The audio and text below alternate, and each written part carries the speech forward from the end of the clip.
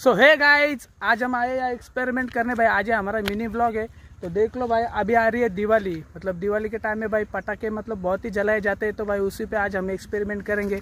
लेकिन मैं पहले ही बोल देता हूँ, भाई, बच्चे दूर रहे। बच्चे एक्सपेरिमेंट ना करें घर पे, क्योंकि भाई बच्चों को ज़्यादा पता नहीं रहता। भाई, हानिकारक भी हो सकता है वो। तो चलो, अभी हम आए भाई एक्सपेरिमेंट करने। ये देखिए, भाई, ये प्लास्टिक का डिब्बा। तो चलो, अभी इसमें फोड़ेंगे हम सुतली बम। देखते भाई, डिब्बे का क्या हाल रहता है मतलब। रहता है या नहीं वो भी देखेंगे। सो so गाइस ये देख लो अभी हमने भाई बम निकाला है वाट भी निकाली उसकी माचिस भी ली है तो चलो अभी जाके लगाते हैं। भाई देख कोई आ नहीं रहा ना? अबे ऐसी जगह पे कोई नहीं। सुनसान की जगह। है ना ठीक।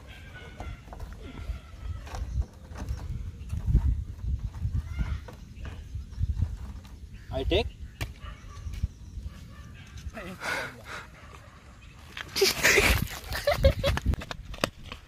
चलो भाई, देखते हैं अभी।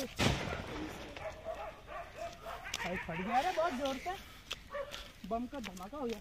तो गाइस देख लो यार मतलब कुछ बचा ही नहीं, पूरा डिब्बा खाली। बहुत बड़ा डिब्बा था, और बम इतना सा, फिर भी पूरे चितड़े चितड़े कर दो उसके। ये देखिए। यार, फंस गया रे बीच में यार लेकिन ब्रांड का नाम बचा। कौन सा ये?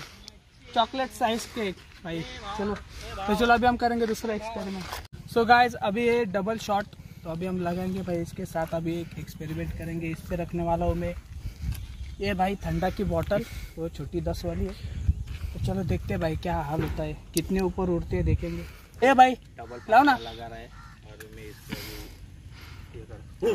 लग गया। तो चलो देखते हैं अभी।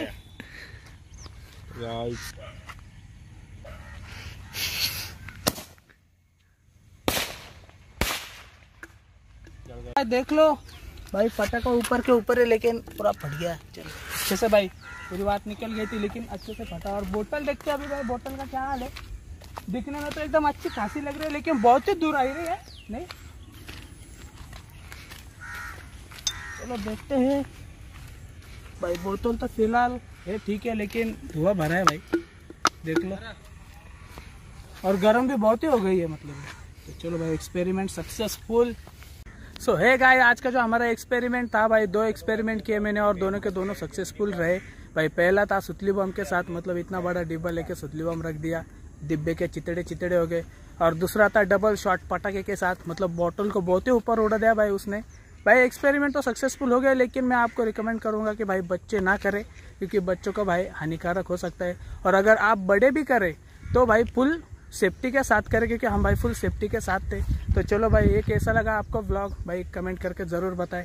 और मेरे चैनल को भी सब्सक्राइब करें, ताकि मेरे आने वाले सारे अच्छे अच्छे वीडियो देख सको। तो चलो मिलता हूँ आपसे अगले ब्लॉग में, तब तक के लिए बाय बाय